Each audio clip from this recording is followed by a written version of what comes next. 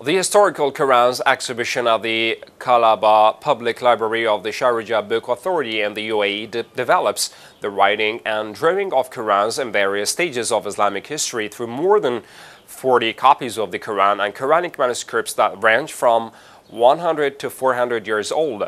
This exhibition comes on the initiative of the Emirati calligrapher Ali Abdul Al-Hammadi, Abdullah Al-Ahmadi, who pointed out that the participating Qurans and manuscripts represent multiple models of Arabic calligraphy and its readings, and the history of their writing and development. The organizer of the initiative, Al Hammadi, stated that the exhibition includes, in addition to the 40 copies of the Quran, and a copy of the Hassan Rida's Quran, of which only two copies exist in the Emirates and the Emirates, or in Emirates, where the weight of the where the weight of the Quran is 40 kilograms.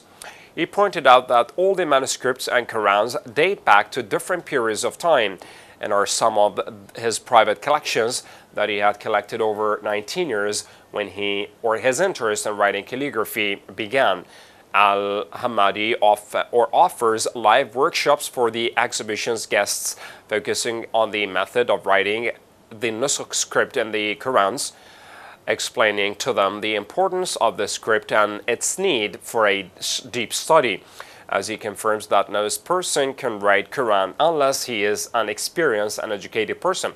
Al-Hammadi aspires to establish a private museum for his manuscript collections, similar to the Tareq Rajab Museum in Kuwait, one of its most prominent landmarks, which brings together Islamic history throughout its ages. It's noteworthy that Al-Hammadi, 45, began his journey with writing calligraphy and collecting an anecdotes of the Quran 19 years ago as he is distinguished in Kufic script and Islamic decoration.